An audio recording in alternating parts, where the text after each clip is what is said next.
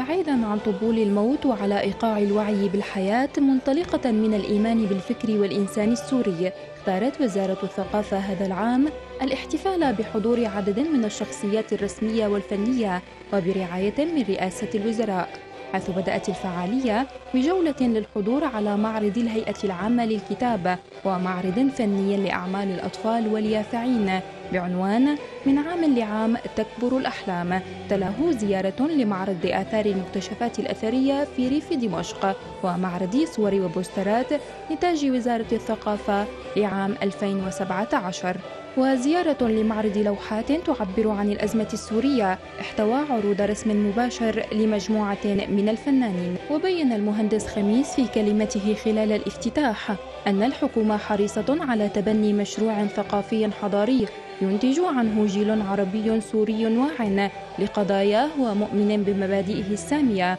وبعروبته الأصيلة وإسلامه المعتدل. ستحرص الحكومة على تبني مشروع ثقافي حضاري ينتج عنه جيل عربي سوري واعي لقضاياه ومؤمن بمبادئه السامية المعتدلة وبعروبته الأصيلة وإسلامه المعتدل القادر على استيعاب مفرزات الحضارة الإنسانية. والتفاعل معها منطلق الفاعل لا المنفعل والمؤثر لا المتأثر فحسب. فالجيل الحي هو الجيل المثقف والجيل المثقف هو الجيل السوي القادر على الحفاظ على مجتمعه. إن الثقافة ليس حالة نخبوية ولا يجب أن تكون كذلك.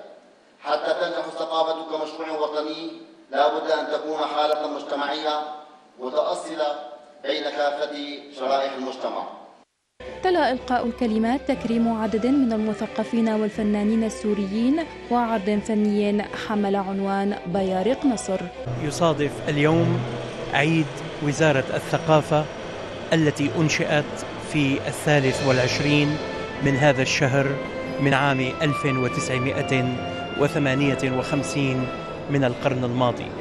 طبعا اليوم كما ترون آه، سوريا يندر أن يمر يوم فيها دون أن يكون مجموعة من الأنشطة والفعاليات الثقافية يعني المسرح والسينما والكتاب والموسيقى وكل ما يتعلق بصنوف العمل الثقافي حاضرة بشكل يومي. لكن لهذا العيد فرحة خاصة وبهجة خاصة. هذا العيد الذي أسميناه يوم الثقافة يقام تحت شعار وعي الحياة.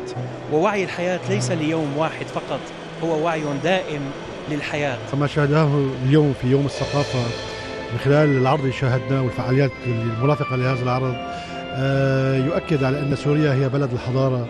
وسوريا مليئة وغنية بالتنوع الثقافي وهذا يحملنا مسؤوليات كبيرة. يعني الجميع يعلم بأننا نواجه فكر ظلامي تكفيري وهابي يهدف إلى طمس هويتنا وتشويه إرثنا الثقافي والحضاري. وبالتالي لابد مواجهة هذا الفكر بفكر تنويري حضاري ولابد كلما اتسعت مساحة الضوء الثقافية تضمحل وتنتهي مساحات الظلام وأهل الظلام. فنحن الثقافي الثقافة بكل مكوناتها بكل مبدعينا بكل شرائحها. الثقافة هي رأس الحربة في الدفاع عن حضارة هذه الأرض. المقدسة لإلنا كلنا كسوريين. ومثل ما قلت أنا يعني سوريا كرمتنا كلياتنا كسوريين لما بقت سيدة قرارها الوطني بقت على صمودها بقت على آه، تضحياتها بقت على استيعابها لهي الحرب اللي, اللي ما جرت بالوجود لا شكلا ولا مضمونا. لا نشعر أننا مكرمين فقط نشعر أن الثقافي والشعر آه، والأدب والفنون جميعها آه، مكرمة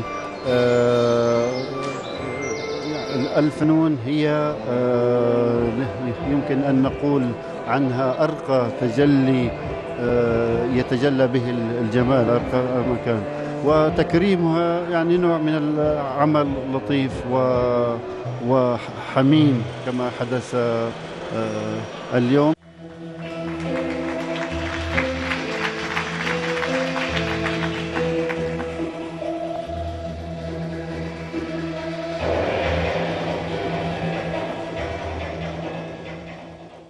لطالما عول على الثقافة بأن تكون السلاح الأمضى في وجه التخلف والإرهاب. واليوم وزارة الثقافة وفي ذكرى ميلادها تؤكد مجددا على أهمية الفعل الثقافي ليكون سلاح سوريا المستقبلي في وجه الموت والإرهاب. ولتعلن يوم الثقافة يوما لوعي الحياة. من دار الأسد للثقافة والفنون للإخبارية السورية نيرمين عمار.